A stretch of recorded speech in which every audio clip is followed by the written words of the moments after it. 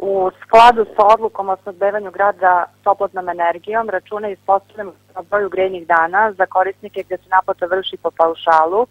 a za korisnike gdje se naplata vrši po meraču prema stvarno očitanoj potrošnji. E,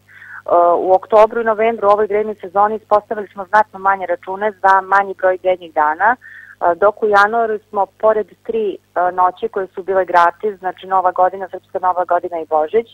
naplatili smo e, dva dana na ime noćnog grenja usled veoma niskih temperatura koje su iznosile i do minus 20 stepeni. Pošto se i za ovu kategoriju paušalaca redovno očitavaju merači, ako bi se prema stvarno očitanim količinama, računi bi bili veći za preko 10%, što je nego kako je naplaćeno u januaru preko broja grejnih dana, gde je račun u proseku uplaćen za 400 do 500 dinara.